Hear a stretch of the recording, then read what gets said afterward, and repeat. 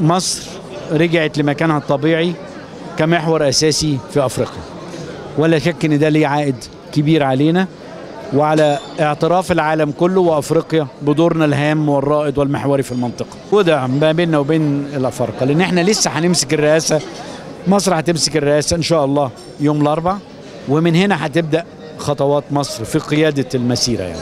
أهم حاجة الكلايمت التغيرات المناخية الاقتصاد الأخضر التنوع البيولوجي آه، كل ده في علاقته بالقضاء على الفقر ودفع النمو الاقتصادي كل بلد هتعمل الخطة بتاعتها ولكن إحنا عايزين إن يحصل تنسيق هيحصل تعاون ما بين الدول هيحصل نقل خبرة هنعمل آليات تمويل إقليمية لتمويل الخطط اللي في كل بلد ولكن كل بلد هتحتفظ بخططها واستراتيجيتها وفي مشروعات بتبقى.